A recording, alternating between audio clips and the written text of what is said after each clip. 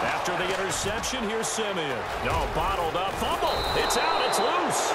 It's picked up by the Cowboys. And he'll take this back down inside the 20.